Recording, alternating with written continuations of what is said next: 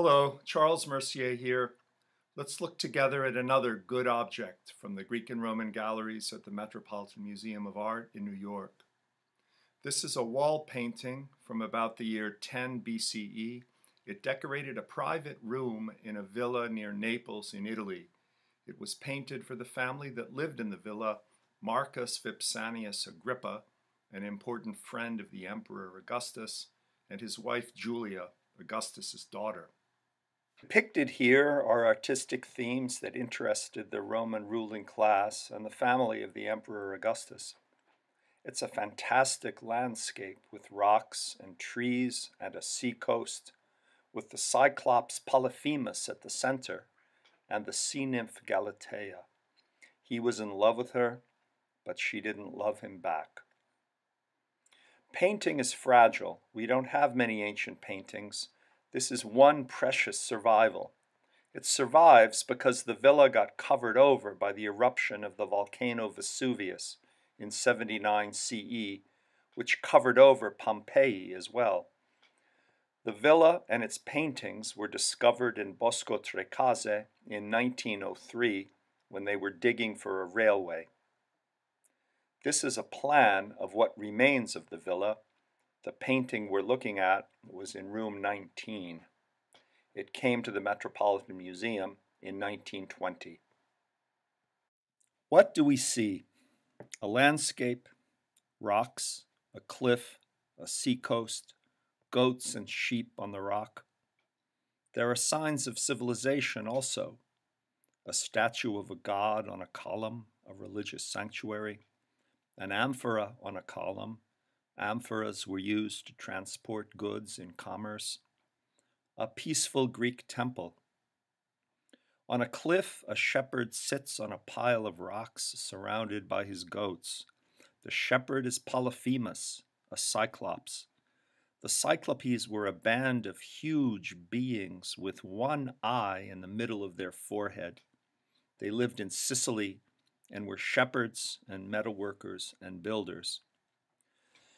Virgil in the Aeneid describes Polyphemus like this, in verse that gives him a pounding, galumphing sound.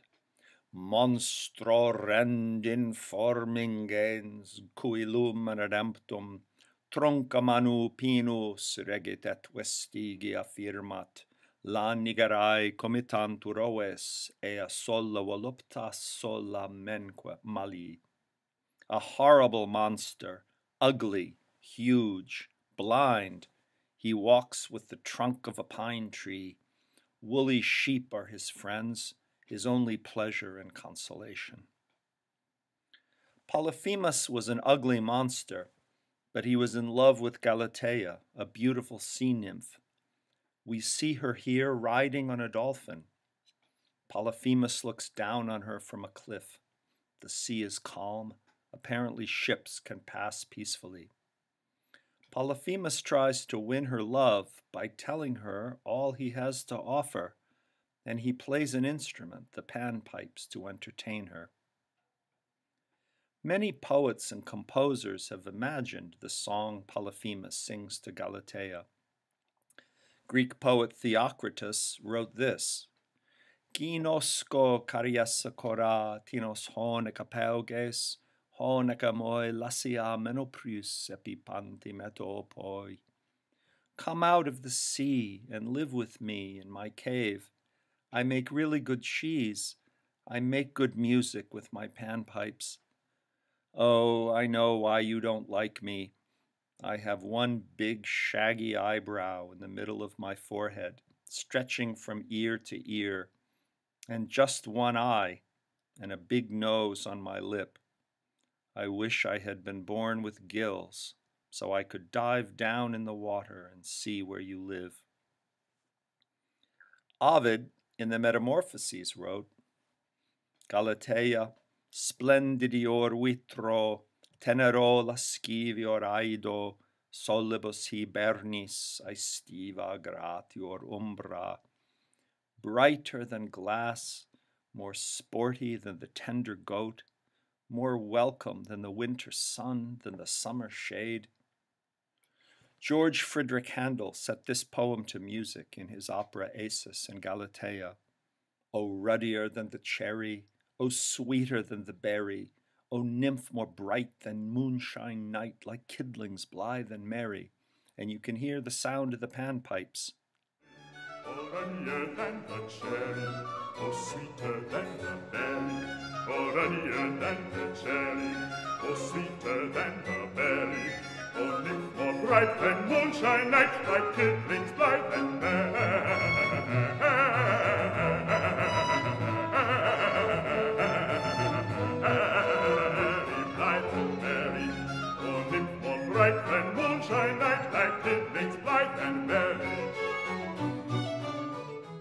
Polyphemus tried his best, but he's a little bit obsessive, and Galatea never loved him back.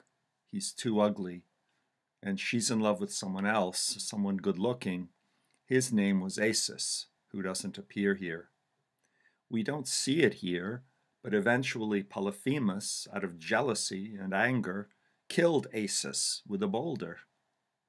Polyphemus, as well as being a poet and musician, is a violent monster who does tend to solve his problems by throwing boulders. An interesting thing about this painting is that it tells two different stories about Polyphemus at the same time. We see him also hurling a boulder at the ship of Odysseus in a scene from the Odyssey of Homer. When Odysseus and his men landed on Sicily, instead of offering food in hospitality, the Cyclops started eating them instead, eating his guests. His gift of hospitality to Odysseus would have been to eat Odysseus last. To save himself, Odysseus got the Cyclops drunk and gouged out his one eye, blinding him. The Cyclops was angry and threw a boulder at Odysseus' ship as the men rowed their oars away. Hec da porrexas corripen oreos megaloio, ca debala proparoita ne os quano proiroio. He broke off the peak of a big mountain and threw it down at our ship, and it almost hit the rudder. The sea crashed up as the stone went down. In this painting, then, we see at the same time two sides of the personality of Polyphemus a sensitive soul singing unrequited to the woman he loves, and a violent monster who tried to gobble down his guests and was victimized by Odysseus in turn. We see two sides of the landscape. Love may be sweet, but it's also frustrating and can end in violence. The natural landscape may be beautiful, but it's inhabited by monsters who do violence. That's why you need the violence of Rome to keep the monsters in line. You need violence to keep order in a peaceful civilization, at least according to these Roman imperialists. Love, emotions, civilization, nature and culture, monstrosity and beauty, violence and peace. These were all themes that interested Virgil and other poets of that time around Augustus and many well educated Romans, and interested the painter of this painting. Greek myth and Greek gods and Greek culture provided material for these Roman artists to think with. The Greek temple is one sign of civilization and of a culture of literature, philosophy, architecture that Emperor Augustus admired and supported, and that monsters like Polyphemus might threaten to destroy.